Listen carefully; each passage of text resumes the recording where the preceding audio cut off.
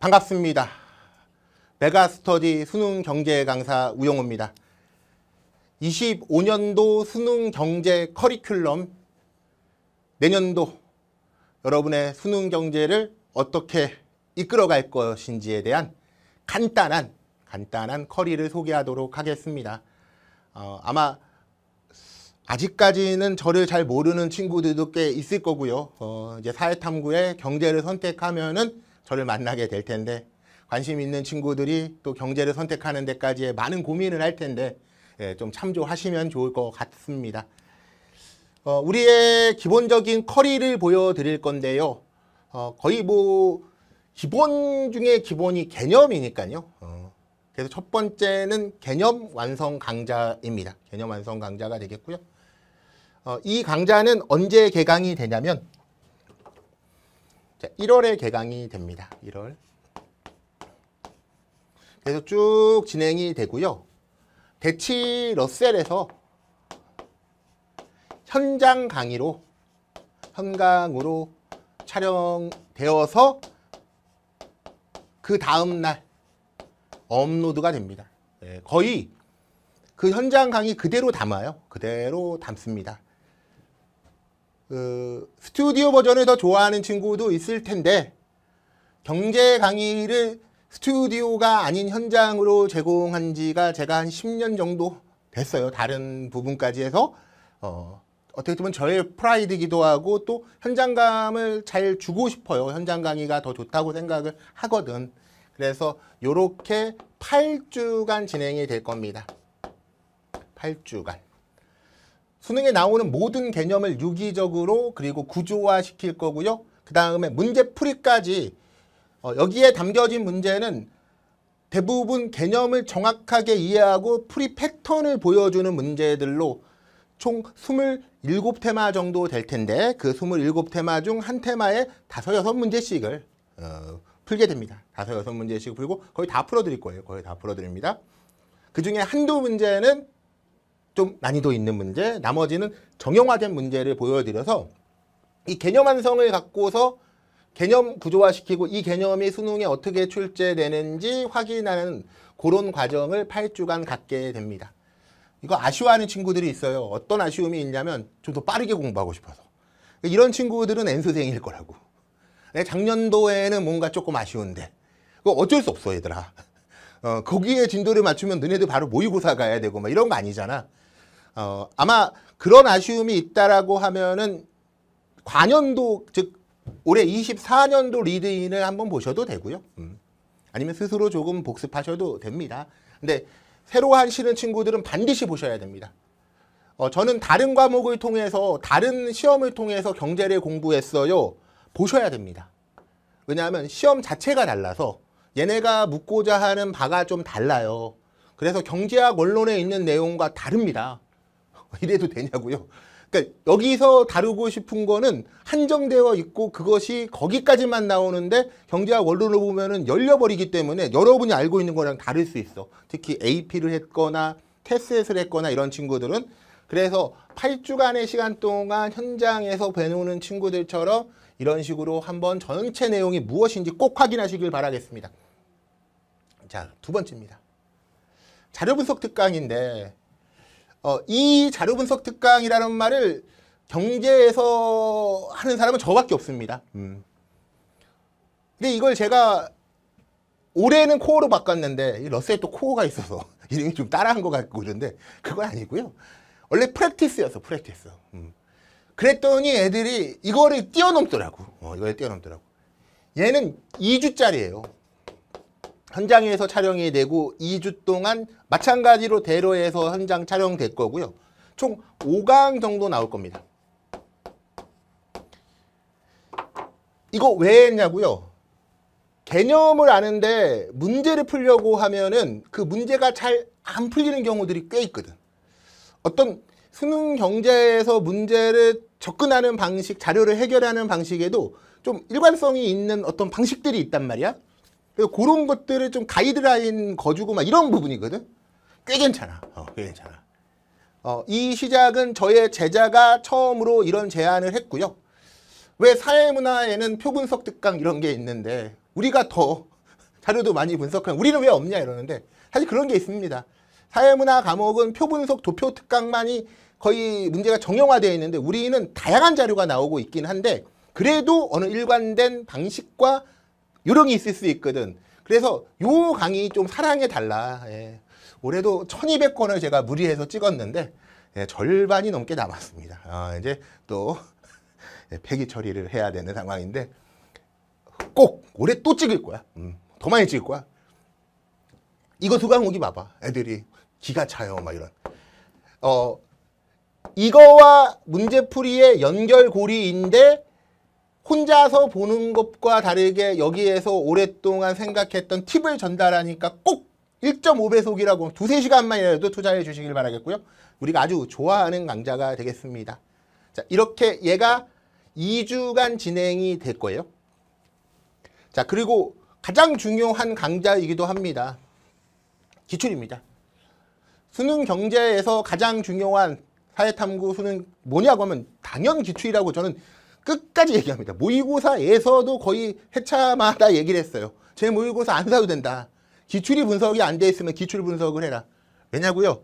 평가원이 만든 그동안의 과정이 여기에 다 녹아있기 때문에 특히나 최근으로 보게 되면 최근 문제들은 당연히 당연히 근데 이 수능 경제가 언제부터 수능 경제가 시작이 됐냐면은 2005년부터 시작이 됐다고 하면 지금 몇 년입니까? 2024까지 왔잖아.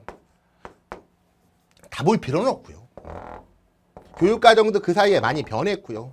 뭐 로렌츠 곡선이 있다가 빠졌고요. 금융 없다가 들어왔고요. 막 이런 식으로 또 최근에는 또 다른 느낌의 문제들이 나오고요.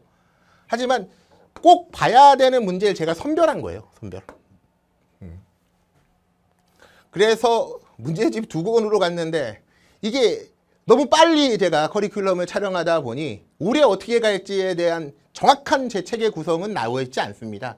그러니까 핵심 기출을 가져가는데 그걸 두 권으로 가져갈지 그러니까 워크북처럼 가져갔었거든요. 근데 분명한 거는 학생들이 일부는 해설지가 아니라 제가 어, 문제 풀이 방향에 대한 지침을 줬더니 그것만 있어서 좀 불평이 나오더라고요. 그래서 올해는 모든 문제 전 문항, 제공하는 문항에 대해서 해설지를 제공하고 그리고 이 부분에 있어서 하나 더 어, 일부 쉬운 문제에 있어서는 스튜디오 버전으로 제공할 예정입니다. 아, 왜 그러냐면 현장에서는 조금 논 지금 난이도 높은 것들을 주로 다루다 보니 애들이 좀 쉬운 문제도 보고 싶은데 이런 생각이 있을 거라고 그래서 제가 쉬운 문제에 있어서는 스튜디오에서 좀 촬영하고 그리고 현장 버전을 포함해서 여긴 스튜디오와 현강을 짬뽕에서 제공하도록 하겠습니다. 자, 얘는 총 8주간 진행이 될 거예요.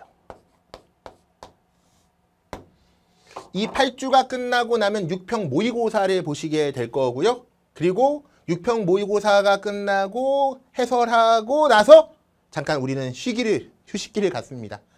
그리고 여름방학이 다가오면은 하이라이트 문제풀이 강좌가 들어갑니다. 이거는 기출 변형 또는 자작 고난도 문제 형태입니다. 그러니까 어렵고 사고력이 필요한 문제들 자료 해석 형태의 문제들만 모아놓은 것이고요. 그러니까 이 문제지는 고난도 N제다. 5주간 대치러스를 해서 현장 버전으로 현강으로 제공하게 됩니다. 그래서 개념, 기출, 연결하는 자료 분석 특강 팁, 그 다음에 고난도 문제 집중 연습 이렇게 보시면 돼요. 여기까지만 잘해도 현장에 온 친구 중에 여기까지만 잘했는데 저 구평에서 만점 받아 이런 친구도 있어. 사람마다 개인 차이가 있겠지만 이 두 과정이 가장 어, 여기까지가 가장 중요하고요. 예. 여기서 기출에 같이 다뤄서 그런 거고요. 어, 요 부분부터는 이제 조금 고난도 상위권 학생들한테 조금 needs에 맞고요. 공부가 잘 돼 있는 친구들이 이 부분을 따라오시면 됩니다. 얘는 8월까지 진행이 됩니다. 그리고 이제 마지막 플리스트 모의고사 진행이 되고요. 예, 총 5주간 얘만 스튜디오 버전입니다. 올해도 그려 했고요. 스튜디오 버전으로 어, 이걸 스튜디오 버전으로 가져가는 건 더 자세한 해설을 하고 싶어서입니다. 그래서 요 버전에서는 마지막 모의고사에서는 최대한 평가원의 6평, 9평 그리고 이제 실시된 24수능을 반영하고 그동안의 많은 기출을 흔적과 그런 것들을 따라하며 그리고 일부 3월, 4월, 7월, 9월, 10월 모의고사, 학평 모의고사와 수특수완도 일부 반영하여 수능 시험보다 조금 더 난이도 높게 출제하여 시험 보는 연습과 정리를 하게 만드는 모의고사로 마무리하게 됩니다. 이게 저의 1년간의 커리가 되겠고요. 개념이 가장 짧은 사탐 과목 중에 하나일 거고요. 그리고 전체적으로 강좌가 짜임새에 있는 부분은 뭐 다른 사탐, 많은 학생들이 있는 사탐과 크게 다르지는 아니할 겁니다. 예. 제가 몇 주 정도 진행되는지 왜 썼냐면 사실 30주도 안 되거든. 음. 집에서 보면은 인강으로 보면은 자기가 잘만 공부할 수 있다면은 상당히 효율적으로 시간 조절하면서 볼 수 있습니다.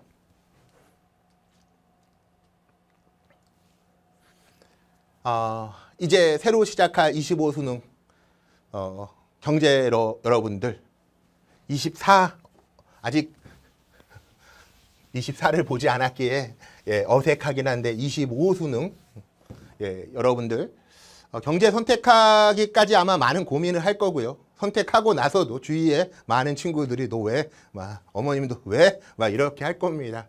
어, 어느 정도 확실하게 선택이 되면 그때서부터는 선택 과목 아니고 필수 과목이니까 사랑해 줘야 돼요. 그리고 이 과목이 잘 안 맞으면은 빠른 결정을 하셔야 됩니다. 빠른 결정을 해야 돼요. 왜냐하면 1년 동안 어느 한 과목으로 스트레스 받으면 안 돼요. 음. 전체 과목을 공부하면서 나름 사탐은 조금 더 맞는 과목을 해서 힐링이 있어야 돼, 니네. 음.